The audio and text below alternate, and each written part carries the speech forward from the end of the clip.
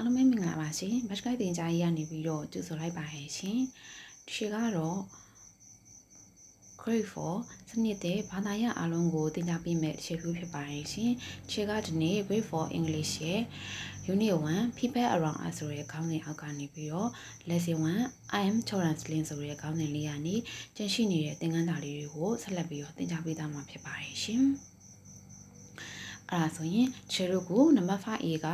with the passage ကိုဖတ်ပါမယ်အဲ့တော့ with the passage မှာဒီချက်ကအဲ့ဒီစာပိုင်လေးကိုဖတ်ပြပါမယ်တာတော်သမီးတို့ကတေချာလိုက်ပြီးတော့ကြည့်ထားပါမယ်နားထောင်ထားပါမယ်ရှင် I am R I am a grade 4 student I have many friends in my class my best friend is Bobo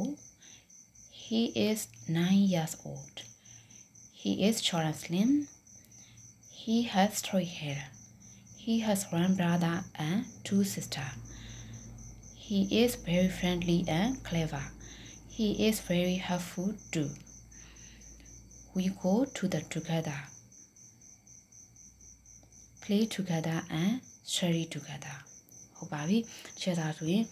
စာပိုင်လေးကိုတစ်ခါပြန်ပြီးတော့ဖတ်ပြပါမယ်။ I am R. I am a grade 4 student. I have many friends in my class. My best friend is Bobo. He is nine years old. He is short and slim. He has straight hair. He has one brother and two sisters. He is very friendly and clever. He is very helpful too. We go to the school together, play together and study together. ဟုတ်ပါပြီ။အဲဆိုရင်ဒီရှေ့စာပိုက်လေးကိုဘာသာပြန်ပြပါမယ်။ read the passage စာပိုက်ကိုဖတ်ပါ I am uh ကျွန်တော်က uh ဖြစ်ပါတယ် I am a grade 4 student ကျွန်တော်က grade 4မှာ grade 4ကျောင်းသားတစ်ယောက်ဖြစ်ပါတယ် I have many friends ကျွန်တော်မှာတငယ်ချင်းတွေအများကြီးရှိပါတယ် many friends ဆိုတော့တငယ်ချင်းအများဆိုအဲ့တော့ I have many friends ဆိုတော့ကျွန်တော်မှာတငယ်ချင်းတွေအများကြီးရှိပါတယ် in my class ဆိုတော့ကျွန်တော်ရဲ့အတန်းထဲမှာ in my class ကျွန်တော်ရဲ့အတန်းထဲမှာ ကျွန်တော်မှာတငယ်ချင်းတွေအများကြီးရှိပါတယ်နောက်ထပ်တစ်ချောင်းသွားမယ်နော် my best friend is Bobo ကျွန်တော်ရဲ့အခင်ဆုံးတငယ်ချင်းကတော့ Bobo ဖြစ်ပါတယ်အဲ့မှာ Bobo ယောက်ျားလေးဆိုတော့ he he is 9 years old ဆိုတော့သူ့ရဲ့အသက်က9နှစ်ဖြစ်ပါတယ် he is short and slim ဆိုတော့သူကအရက်ပူပြီးတော့ပိန်းနေ he has straight hair သူကသပင်ဖြောင်းနေ he has one brother brothers ဆိုတော့ one brother ဆိုတော့သူ့မှာအကိုတယောက်အငါနှစ် two sisters ဆိုတော့အမနှစ်ယောက်အကိုတယောက်နဲ့အမနှစ်ယောက်သူ့မှာရှိတယ် he is very friendly and clever ဆိုတော့ he is very friendly ဆိုတော့သူကဖော်ရွေတယ် and ပြီးတော့ clever တော်လေတော်တယ်လို့ပြောတာ he is very helpful too သူကကိုလည်းကူညီတတ်တယ် we go to school together ဆိုတော့ကျွန်တော်တို့ကအကြောင်းကိုအတူသားကြတယ် play together and အတူကစားကြပြီးတော့ study together စာလည်းအတူလေ့လာကြပါတယ်ဟုတ်ပါပြီအဲ့ဒါဆိုရင်နောက်တစ်ခါတော့စာပိုက်လေးကိုထပ်ပြီးတော့ဖတ်ပြပါမယ် with the passage စာပိုက်ကိုဖတ်ပါ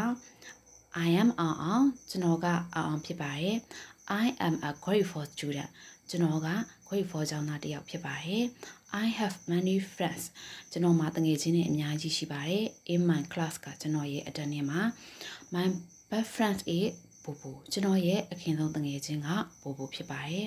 he is 9 years old ကသူ့ရဲ့အသက်ကတော့9နှစ်ဖြစ်ပါတယ် he is short and slim သူ့ရဲ့ရသူကအရက်ပူပြီးတော့ပိန်ပါတယ် he has straight hair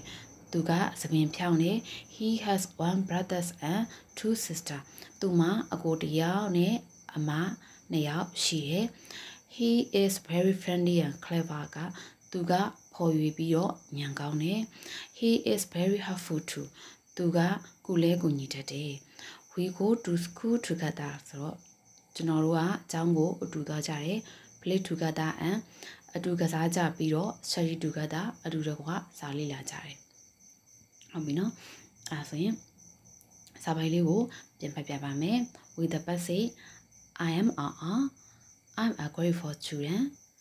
I have many friends in my class my best friend is Bobo he is 9 years old he is short and slim he has straight hair he has one brother and two sisters he is very friendly and clever he is very helpful too we go to school together play together and study together ဟုတ်ပါပြီနောက်တစ်ခေါက်ပြန်ဖတ်ပြပါမယ် with the basic i am a i'm a grateful student. I have many friends in my class. My best friend is bobo. He is 9 years old. He is short and slim. He has straight hair. He has one brother and two sisters. He is very friendly and clever. He is very helpful too. We go to school together play together and study together အဲ့ဒါဆိုရင်ဒီစာမိုက်လေးကိုမှတ်မိသွားအောင်ရအောင်သားတို့သမီးတို့ကဒီရှေကပြပြပြီးသွားပြီဆိုတော့အတန်တော်လေးရဲ့မာလူလေးရဲ့ဘောသူကိုအတန်တော်လေးကိုမှောင်ဖတ်ကြည့်မယ်မြန်မာသားလေးနဲ့ပြင်ပြီးတော့မှတ်မိအောင်ဖတ်ထားပါမယ်နားမလေးတာချီရင်ဒီရှေကိုညနေပိုင်း Zoom class မှာနားမလေးတာတွေကိုပြင်ပြီးလို့ရပါတယ်ဒီရှေပြင်ပြီးတော့ရှင်းပြပါမယ်အဲ့ဒါဆိုရင်ခြေတို့နောက်ထပ် တစ်ခုကိုသွားကြပါမယ် number 5 B shoot the correct answers choose ကရွေးချယ်ပါ the correct answer ဆိုတော့မှန်ကန်သောအဖြေများကိုအဲ့တော့ choose the correct answer ဆိုတော့မှန်ကန်သောအဖြေများကိုရွေးချယ်ပါ number 1 popo is သူကအဲ့ဒီ bracket တွေထဲမှာရွေးချယ်စရာစကလုံးနှလုံးစီပေးထားပါတယ်အဲ့ဒီထဲမှာခြေတို့ကစောစောကခဏတော့ကခြေတို့ဖတ်ခဲ့တဲ့ စာပိုက်ကို ပြန်ပြီးတော့အဲ့ဒီထဲကမှာစကလုံးလေးနဲ့ဘယ်ဟာကအမှန်ဖြစ်မလဲစာပိုက်လေးကိုဖတ်ထားတဲ့အတွက်ကြောင့်မလို့အဲ့ဒီထဲကတချေတို့ကမှတ်မိနေတဲ့အတွက်ကြောင့်မလို့ဒီနှစ်ခုတွေကဘယ်ဟာအဖြစ်မှန်လဲဆိုတာကိုစဉ်းစားပြီးတော့ပြန်ပြေးကြပါမယ် Bobo is tall short အဲ့တော့သူပေးထားတာက tall နဲ့ short နဲ့အဲ့တော့ Bobo ကအရက်ခြီတာလားပူတာလားစာပိုက်ကို ဖတ်ပြီးတော့မှတ်မိမယ်ဆိုရင်မှန်တဲ့အဖြေကိုပြန်ဖြေရမှာဖြစ်ပါတယ်ဘိုဘိုကအရက်ရှိတယ်ဆိုရင်ဘိုဘို is tall ဘိုဘိုကအရက်ပူတယ်ဆိုရင်ဘိုဘို is short ကိုဖြေရမှာဖြစ်ပါတယ်အဲ့တော့စာပိုက်လေးကိုဖတ်ပြီးတော့မှန်ကန်တဲ့အဖြေကိုရွေးချယ်ရမှာကတာတို့သမီးတို့လုပ်ပါအဲ့တော့ number 2ဘိုဘို is plump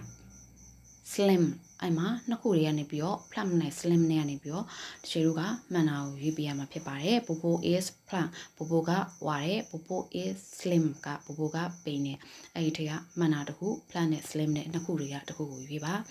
number 3ပိုပို ha straight curly straight ကဖြောင်းတာ curly ကကောက်တာ hair နော် green bracket ထဲနောက်မှာရှိတာက hair ကသပင်ဖြစ်ပါတယ်အဲ့တော့ hair straight hair လား curly hair လား straight နဲ့ curly တွေကနေပြီးတော့မှန်တာတစ်ခုကိုရွေးရမှာဖြစ်ပါတယ်။သပင်ဖြောင်းနေဆိုရင် bobo has straight hair သပင်ကောက်တယ်ဆိုရင် bobo has curly hair အဲ့လိုမျိုးရွေးရမှာပါ။အော်နံပါတ်4ကိုကြည့်ပါမယ်။ bobo has 2 3 sisters ဆိုတော့ bobo မှာအမက2ယောက်လား3ယောက်လားအဲ့တော့2ယောက်ဆိုရင် bobo has 2 sister 3ယောက်ဆိုရင် Bobo has 3 sister အဲ့ဒါကိုရွေးပြရမှာဖြစ်ပါတယ်။ Number 5 Bobo and Ang go to school ကြောင့် the cinema ကရုပ်ရှင်ရော together အတူတော့က go to school together လား go to school the cinema together လားအဲ့ဒီထဲကစာပိုက်ထဲမှာဘယ်ဟာပါလဲ။ကျောင်းကိုအတူသွားတာလားရုပ်ရှင်ရောအတူသွားတာလား။ကျောင်းကိုအတူသွားတာဆိုရင် Bobo and Ang go to school together ရုပ်ရှင်ရုံကိုတူတာဆိုရင်ပိုပိုကအောင်အောင် go to the cinema together ဆိုပြီးတော့မှန်တဲ့တခုဖြေရမှာဖြစ်ပါတယ်အဲတော့နံပါတ်5ဘီလေးကိုဖြေပါမယ် okay အဲဆိုရင်ဒီချေတို့နံပါတ် 5C ကိုသွားပါမယ်နံပါတ် 5C က read ကဖတ်ပါ the passage again ကစာပိုက် the passage ကစာပိုက်ကို again ကနောက်တစ်ချိန်ဆိုတော့ read the passage again ကစာပိုက်ကိုနောက်တစ်ချိန်ဖတ်ပါ what what describe ဘိုဘို what what ကမြည်သည့်စကားလုံးများက describe ဘိုဘိုဘိုဘိုကိုဘယ်စကားလုံးတွေကနဲ့ဖော်ပြတယ်လဲဘယ်စကားလုံးတွေနဲ့ဘိုဘိုရဲ့အကြောင်းကိုဖော်ပြတယ်လဲဆိုပြီးတော့တချို့တို့ကအဲ့ဒီထဲကနေမှန်တဲ့အကြောင်းကိုရွေးပေးရမှာဖြစ်ပါတယ်သူပေးထားတာကစကားလုံးနှစ်ခုပါ appearance က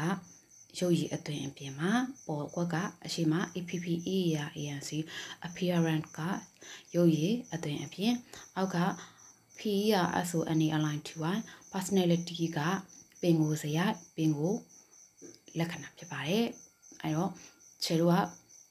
appearance မှာနံပါတ်1မှာသူကဖြည့်ပေးထားပါတယ်ပို့ပို့က short အရက်ပူတယ်နောက်တစ်ခု s နဲ့စာရဲအဲတော့စာပိုက်ထဲမှာ s ပို့ပို့က s နဲ့စာပြီးတော့ဘိုးဘိုးရဲ့အသွင်အပြင်ကိုဖော်ပြမဲ့စလုံးကဘာရှိဦးမလဲ s နဲ့စာပါမယ် short ပြီးရင် s နဲ့စာတဲ့ဘိုးဘိုးရဲ့အသွင်ပြင်ရုပ်ရည်အသွင်ပြင်ဖော်ပြတဲ့စလုံးကဘာဖြစ်မလဲစကလုံးကအဲ့ s ရဲ့နောက်မှာ blank လေးသုံးခုပေးထားတဲ့အတွက်ကြောင့်မလို့ s meaning က s ရဲ့နောက်မှာနောက်ထပ်အခရာ၃လုံးရှိရပါမယ်အဲ့တော့ s နဲ့ပေါင်းရင်အခရာ၄လုံးရှိရပါမယ်အဲ့ဒီ meaning လေးကိုဖြေရမှာဖြစ်ပါတယ်နံပါတ်3က s ရဲ့နောက်မှာ blank လေးနှစ်ခုရှိရဲအလဲမှာ a ရှိရဲအဲ့ဒီနောက်မှာ blank သုံးခုထပ်ရှိရဲဆိုတော့ a ရဲ့နောက်မှာ စကလုံးအခရာ3ထပ်ရှိရပါမယ်အဲ့တော့နောက်မှာနောက်ဆုံးမိမှာ t နဲ့ဆုံးပါတယ် s နဲ့စတယ်ပြီးရင်အခရာနှလုံးထပ်ထည့်ရမယ်အလဲမှာ a ရှိရဲအဲ့ဒီနောက်မှာအခရာ3လုံးရှိမယ် t နဲ့ဆုံးတဲ့ meaning လေးဖြစ်ပါတယ်ဘူးရဲ့ appearance ရုပ်ရည်သွင်းမြင်ကိုဖော်ပြတဲ့ meaning လေးပါအပြင်သူနဲ့တွေ့ရဲ့စလုံးက hair ဖြစ်ပါတယ်။ဘာ hair ဖြစ်မလဲပေါ့နော်။ အဲ့ဒီ appearance ဆိုတဲ့အဲ့ဒီ quality လေးကိုဖြည့်ပေးရမှာဖြစ်ပါတယ်။နောက်တစ်ခုက personality ကပင်ကိုစရိုက်ပင်ကိုစရိုက်မှာနံပါတ်1က friendly FIND DL1 friendly ကပေါ်ရတော့အဲ့တော့နံပါတ်2မှာကျတော့ C ရဲ့အပြင် blank လေးနှစ်ခုရှိမယ် V ရဲ့နောက်မှာ blank လေးနှစ်ခုရှိမယ် C အလဲမှာ V နောက်မှာနှစ်ခု C နဲ့ V ရဲ့ကြားမှာအခရာနှလုံးဆိုပြီးတော့အဲ့ဒီ မင်းကြီးလေးကဘာဖြစ်မလဲအခရာ6လုံးရှိရမယ်စီနဲ့ဘွေအပါဝင်အခရာ6လုံးနဲ့ဖွဲ့စည်းထားတဲ့စကလုံးလေးကဘာဖြစ်မလဲအဲ့ဒီ watch လေးကိုရေးပြရမှာပါနံပါတ်3ကကြတော့ h နဲ့စပါတယ် h နဲ့ပြီးရင်အလဲမှာ f ရှိပါမယ် h နဲ့ f ရဲ့ကြားမှာအခရာ3လုံးရှိပါမယ် f ရဲ့နောက်မှာအခရာ2လုံးရှိပါမယ်အဲ့ဒါဆိုရင်အခရာ9လုံးမှာစုပါအဲ့တော့ h ရဲ့ f ရဲ့အပါဝင်အခရာ9လုံးနဲ့ရှိတဲ့ဒီထဲကဘိုးဘိုးရဲ့ ပင်ကိုစရိုက်ကိုဖော်ပြတဲ့ meaning လေးကဘာဖြစ်မလဲအဲ့ဒါလေးကိုဖြည့်ပေးရမှာဖြစ်ပါတယ်အဲ့ဒါကနံပါတ် 5 C ပါအဲ့ဒီ appearance နဲ့ personality မှာရှိတဲ့ဘိုးဘိုးရဲ့ describe ကို describe words ပေါ့ဖော်ပြတဲ့ဘဘအကြောင်းဖော်ပြတဲ့ဘဘရဲ့ပုံစံလေးကိုဖော်ပြမယ်မင်းလေးတွေကိုတားတို့သမီးတို့ကဖြည့်ပေးရမှာဖြစ်ပါတယ်အဲ့ဒါဆိုရင်ခြေုံနောက်တစ်ခုကိုသွားပါမယ်အဲ့တော့နောက်တစ်ခုကတော့ answer the question ကမေးခွန်းများကိုဖြေပါ about your best friend ဆိုတော့တင်ဤအခင်ဆုံးတငယ်ချင်းတင်ရဲ့အခင်ဆုံးတငယ်ချင်းရဲ့အကြောင်းကိုမေခွန်းများကိုဖြေပါတယ်အဲ့မှာနံပါတ်1မှာသူကဖြေပေးထားပါတယ် who is your best friend ဆိုတော့ who ကဘသူက is your best friend သင်အခင်ဆုံးတငယ်ချင်းကဘသူလဲအဲ့တော့ while you are your သင်ဤဆိုရင်ကျွန်တော်ဤသင်ဤ အခင်ဆုံးတငယ်ချင်းဆိုရင်ကျွန်တော်ဤအရှိဆုံးအခင်ဆုံးတငယ်ချင်းကဘသူဖြစ်ပါလဲဆိုပြီးတော့ဖြေပေးရမှာအဲ့တော့ my best friend ကျွန်တော်ဤအခင်ဆုံးတငယ်ချင်းက it စောစောစောစောဖြစ်ပါတယ်ဟုတ်ပြီနော်နံပါတ်2 if he she he she နှစ်ခုတွေကတစ်ခုကိုရွေးရမယ်ဒါတို့သမီးတို့ကကိုယ့်ရဲ့တငယ်ချင်းကမင်းကလေးလို့ရေးထားရင် she ကိုသုံးရမယ် is she tall or short ဒါတို့သမီးတို့ကကိုယ့်ရဲ့ခင်ဆုံးတငယ်ချင်းကိုယောက်ျားလေးလို့ရေးထားရင် he ကိုရွေးရမယ် is he tall or short အဲ့တော့အဲ့ဒါက he she နှစ်ခုတွေကကိုရွေးထားတဲ့အပေါ်မှာနံပါတ်1မှာကိုကမင်္ဂလေးရွေးခဲ့လားယောက်ျားလေးရေးခဲ့လားအပေါ်မှာမူတည်ပြီးတော့ he she ကိုအောက်ကပုံတွေမှာ he she နှစ်ခုတွေကတစ်ခုပဲရွေးရမှာဖြစ်ပါတယ်အဲ့တော့ is he အပေါ်မှာဒီပုံမှာ तू ကစောစောလို့ရေးထားတဲ့အတွက်ကြောင့်မလို့ရှယ်ကမေခွန်းအလုံးကိုအောက်ကမေခွန်းအလုံးကို he ကိုပဲရွေးလိုက်ပါမယ် is he tall or short သူကအရက်ရှိသလားပို့သလားဆိုတော့စောစောကအရက်ရှိတယ်ဆိုရင် he is tall အရက်ပို့တယ်ဆိုရင် he is short လို့ယူရမှာပါနံပါတ်3အဲ့တော့အပေါ်မှာစောစောဖြစ်တဲ့အတွက်ကြောင့်မလို့ is he plan or slim ရှိကိုပြုတ်ခဲ့ပါမယ် is he plan or slim သူကဝလားပိန်လားဆိုတော့သူကဝတယ်ဆိုရင် he is plan သူကပိန်နေဆိုရင် he is slim ဟုတ်ပါပြီရမယ်နော်နံပါတ်4 does he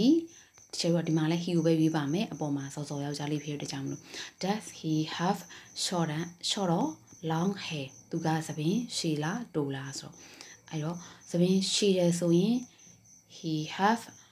long hair သပင်တိုတယ်ဆိုရင် he has short hair ဟုတ်ပါပြီရမယ်နော်ကဲပြန်ပြောမယ်နော်နံပါတ်၄ကိုသပင်ရှည်တယ်ဆိုရင် he has long hair သပင်တိုတယ်ဆိုရင် he has short hair ဟုတ်ပါပြီနော်အဲ့မှာမိကုံးမှာ does က have မို့လို့အများနဲ့ဖြေထားတယ်မေးထားတယ်အဖြေမှာဆိုရင်အနည်းနဲ့ပြန်ဖြေရမှာပါ he has long hair he has short hair ဟုတ်ပြီနော်အဲအဲ့ဒါဆိုရင်နံပါတ်5ကိုသွားပါမယ် does he have curly or straight hair does he have curly or straight hair အဲ့တော့ he has သပင်ကောက်တယ်ဆိုရင် curly hair သပင်ဖြောင်းတယ်ဆိုရင် straight hair ကိုပြင်ပါပါအဲ့တော့ he has curly hair သပင်ဖြောင်းနေဆိုရင် he has straight hair တခုပြင်ပါပါရမယ်နော်အဲ့တော့နံပါတ်6 is he helpful သူကကူညီတတ်သလားအဲ့တော့ကူညီတတ်တယ်ဆိုလို့ရှိရင် he is helpful ဟုတ်ပြီနော် အဲ့လိုမျိုးလေးဖြေရမှာဖြစ်ပါတယ် yes he is ဆိုပြီးဖြေရင်လည်းရပါတယ်အဲ့တော့ဒီမိကွန်6ပုဒ်ကိုလည်းရမယ်လို့ထင်ပါတယ်ကဲအဲ့ဒါဆိုရင်အခြေကိုနောက်တစ်ခုကိုသွားပါမယ်နောက်တစ်ခုကနံပါတ်6 B မှာ right ကရေးပါ about က about a student ဆိုတော့ကျောင်းသားတစ်ယောက်ရဲ့အကြောင်း in your class က သင်အခန်းထဲကစာသင်ခန်းထဲကကျောင်းသားတစ်ယောက်ရဲ့အကြောင်းကိုရေးပါတဲ့ using ကအသုံးပြုပြီးတော့ he she ကောင်းလေးအကြောင်းပြောရဲဆိုရင် he ကောင်မလေးအကြောင်းပြောရဲဆိုရင် she ပေါ့နော်အဲ့လိုသုံးပြီးရေးပါတဲ့ then ပြီးတော့ read the sentence ကစာကြောင်းကိုဖတ်ပါ to the class and ဆိုတော့အတန်းကိုစာကြောင်းကိုဖတ်ပြပါဖတ်ပြပြီးတော့ ask ကမေးမြန်းမှာ who he she is သူကဘသူလဲသူမကဘသူလဲဆိုတာကိုမေးမြန်းမှာကိုကပြောချင်တာက ကိုကကိုယ့်ရဲ့တငယ်ချင်းအကြောင်းကိုနမိတ်မထည့်ပဲနဲ့ဟီရှီသုံးပြီးပဲဥပမာမြန်မာလိုပြောမယ်ဆိုရင်သူကအရက်ချီတယ်သူကဝတယ်သူ့မှာသပင်သူကသပင်ဖြောင်းဖြောင်းလေးနဲ့အဲသူကဘသူဖြစ်မလဲဆိုပြီးတော့အဲ့လိုမျိုးလေးဘသူဖြစ်နိုင်မလဲဆိုပြီးတော့မေးရမှာအဲ့လိုမျိုးမေးရဆိုရင်အထက်နေရလူတွေကအဲ့ဒီပြောပြတဲ့ရုပ်ရည်နဲ့သင်ပြင်လေးကိုစဉ်းစားပြီးတော့အဲ့ဒါကကိုယ်အခန်းထဲကဘသူဖြစ်နိုင်မလဲဆိုပြီးတော့နာမည်လေးကို သူကတော့ဘသူပါသူမကတော့ဘသူပါဆိုပြီးတော့ပြန်ဖြေရတာမျိုးကိုပြောတာပါဟုတ်ပြီနော်အဲ့ဒါဆိုရင် you ဆိုပြီးတော့ you ဆိုတော့ကိုကမေးရမှာအတောင်းအဲ့တော့အဲ့မှာဥပမာတစ်ခုသူကမေးပြထားတယ် he is tall သူကအရက်ရှိတယ် he is slim သူကပိန်တယ် he has curly hair သူကသပင်ကောက်တယ် can you guess who he is ဆိုတော့ can you guess who he is သူကဘသူဖြစ်မလဲဆိုတော့သူကဘသူဖြစ်မလဲဆိုပြီးတော့မေးလိုက်တယ် မိလိုက်တော့ the class အတန်းကကိုပြောပြရဲအဲ तू ကအရက်ချီတယ်ပိန်တယ်သပင်ကောက်တယ်ဆိုတော့အဲ့ဒါကဘသူဖြစ်မလဲအခန်းထဲမှာကြည့်လိုက်တယ်ကြည့်လိုက်တော့ the class အတန်းကပြန်ပြေတယ်ဘသူမှန်းသိသွားပြီဆိုတော့ he is coco तू က coco ပါအဲ့တော့ကိုကပြောလိုက်မယ်အတန်းတွေကလူတွေဖြေတာမှန်တယ်ဆိုရင် yes he is မဟုတ်ဘူးဆိုရင် no he isn't ကိုဖြေရမှာပါဟုတ်ပြီနော်ရမယ်ထင်ပါတယ်ဒီဟာလေးကိုဟုတ်ပါပြီနော် ကဲအဲ့ဒါဆိုရင်နောက်ဆုံးတစ်ခုသွားပါမယ်နံပါတ်6စီပါ right ကရေးပါ the paragraph ကစာပိုင်းတစ်ခု describing ကဖော်ပြခြင်း your preference ဆိုတော့သင်ဤအခင်ဆုံးတငယ်ချင်းအကြောင်းကိုဖော်ပြတယ်သင်အခင်ဆုံးတငယ်ချင်းကိုဖော်ပြမယ်စာပါလေးတစ်ပိုက်ကိုရေးပါဆိုတော့သူကအဲ့ဒီမှာအချက်လက်လေး note လေးပေးထားပါတယ်ခေါင်းစဉ်က my best friend လို့တရားမှာပါအဲ့ဒါပြီးရင်တရှယ်တို့ဒီ number 158A မှာဖတ်ခဲ့တဲ့စာပိုက်လိုမျိုးစာပိုက်လေးတစ်ပိုက်ကိုသူကစာပိုက်ထဲမှာပေးထားတယ်သူ့ရဲ့တငယ်ချင်းကြောင်စာပိုက်ကရေးထားတယ်ကိုကအဲ့နေရာမှာကိုရဲ့တငယ်ချင်းကြောင်အစားထိုးပြီးတော့ပြန်ပြီးတော့ရေးပေးရမှာဖြစ်ပါတယ်အဲ့တော့နံပါတ်1စာကြောင်းမှာ name ဆိုတော့အမည်သူ့ရဲ့နာမည်ကဘယ်သူဖြစ်ပါတယ်ဆိုပြီးတော့အဲ့ဒါကိုအင်္ဂလိပ်လိုရေးရမယ်နံပါတ်2က tall short သူကရဲရှည်လားပူလားရေးရပါမယ်နံပါတ် 3စာကြောင်းက plant slim သူကဝလာပိန်လားဆိုတာကိုရေးရပါမယ်နောက်တစ်ခုကနံပါတ်4က short hair long hair သပင်ရှည်လားသပင်တိုလားခါလီနောက်တဲ့နံပါတ်5စာကြောင်းကခါလီရဲ့ဆွေဟဲသူကသပင်ကောက်လားသပင်ဖြောင်းသလားနောက်ပြီးရင် clever နောက်ဆုံးစာကြောင်းက clever